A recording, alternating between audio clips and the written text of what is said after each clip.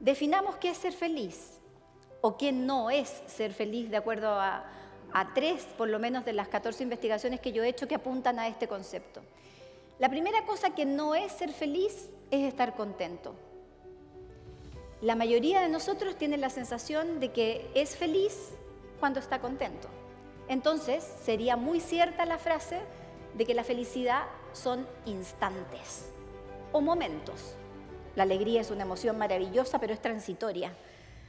Por lo tanto, la felicidad no es alegría. De hecho, yo puedo ser feliz y estar triste.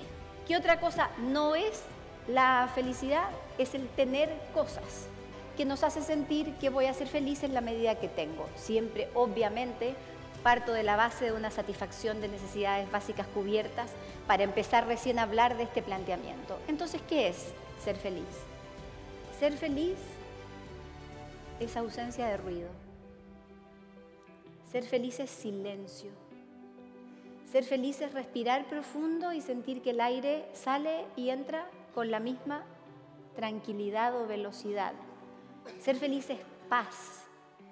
Y cuando se define la felicidad como paz, automáticamente aparece algo que es políticamente incorrecto, que es que para tener ese estado de paz hay que trabajar. La felicidad es paz y si es paz, entonces es una decisión.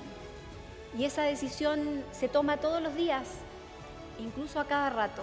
Soy Pilar Sordo y esto es Mentes Expertas.